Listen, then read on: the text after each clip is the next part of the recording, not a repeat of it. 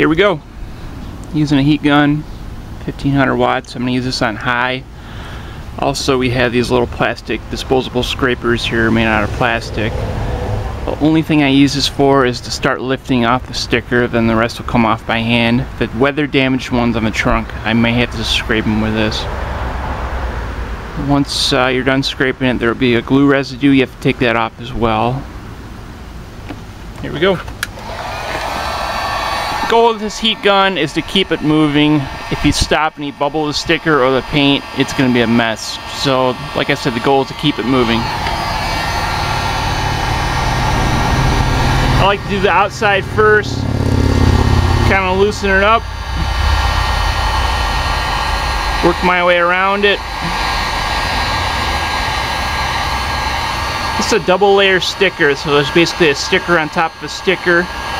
And with this technique, I'm going to try to get both off at the same time. Like I said, keep that heat gun moving. This is factory paint. If it wasn't, uh, I could very easily damage it bubbling in if I left it in place too long. Factory paint's a little bit more durable.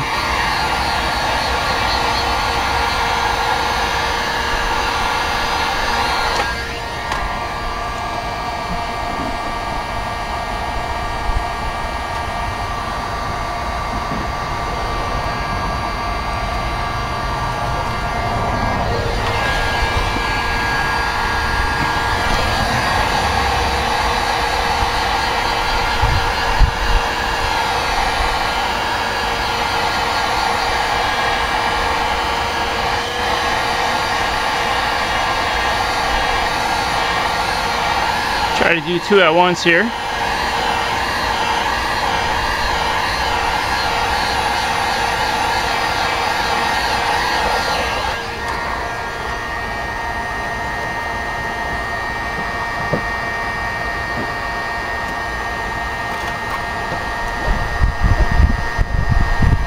Surface is very hot.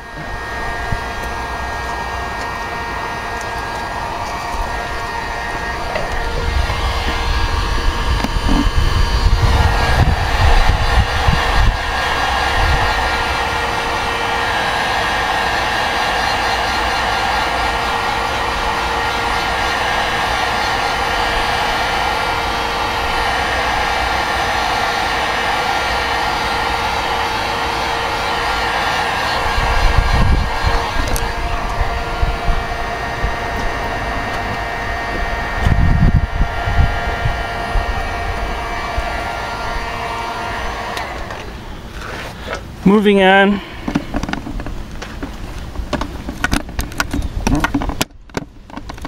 If I can show you the stripes now.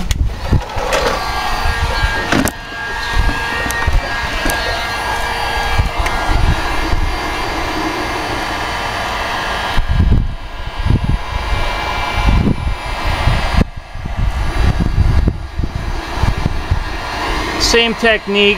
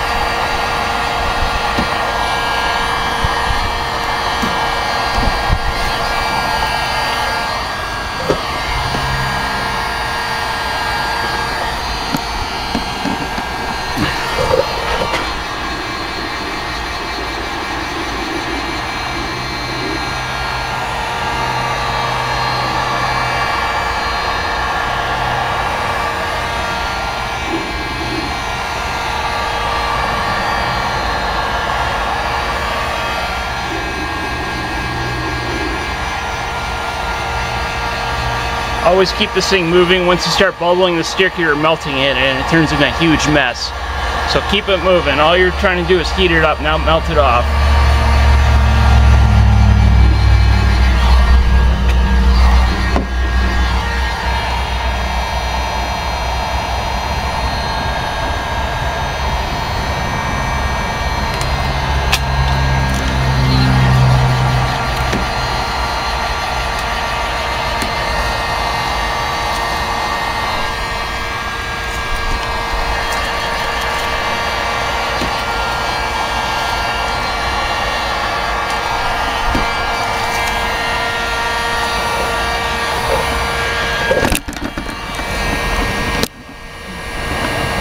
Different part here. This is actually a sticker on top of a sticker. I'm gonna take off the center sticker here first and then do the outside sticker.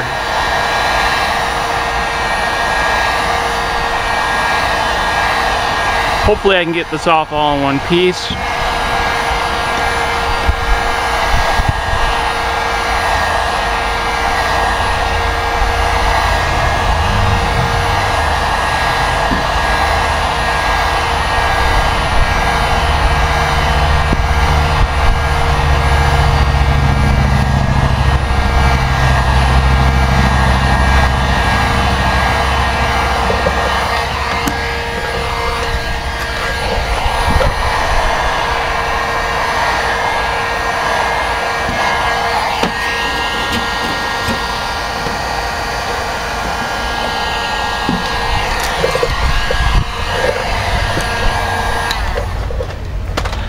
You guys have seen enough of that. I'll show you the uh, trunk later. It's a true mess. Alright, getting close here. I did change techniques and get a, uh, a little bit more aggressive here. I am now switching over to a plastic razor blade. It's basically a razor blade made out of plastic and it's actually working quite well. I don't think it's damaging the finish so let me show you these last three uh, letters.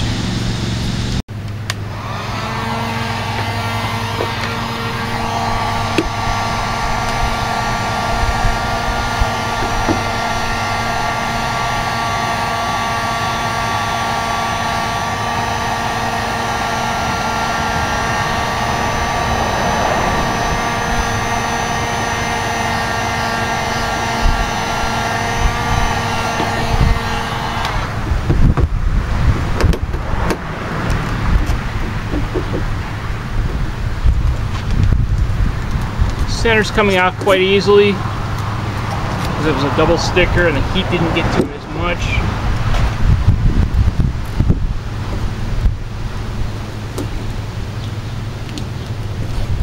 But the outside is just baked on there.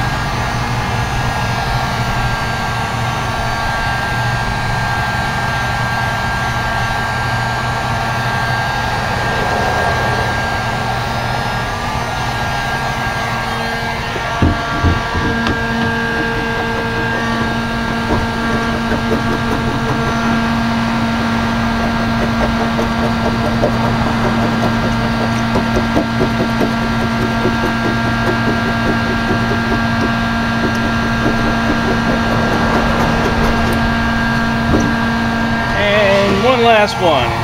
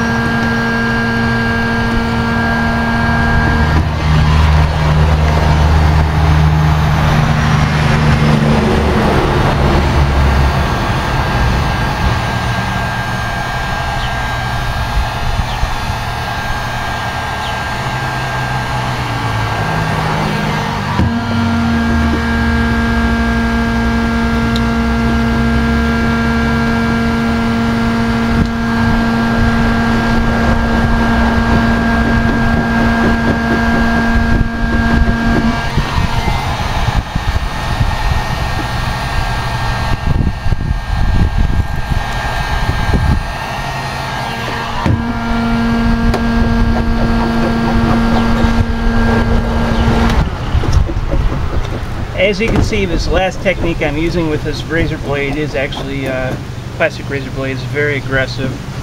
I don't think I damaged the finish at all. I want to make another video show you how to remove all the sticker goop. There's a bunch of white spray paint on the car as well that needs to come off. Let me show you the car.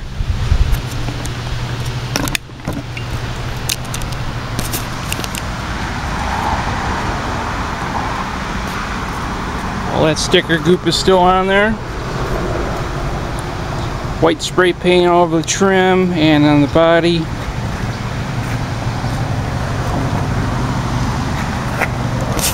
And the other side looks the same way. I think I got about an hour and a half in stripping this whole car. Probably half hour that's in the trunk lid. And I'll probably have another hour of uh, sticker goop removal, which I think is the worst part. Alright, look forward to my next video.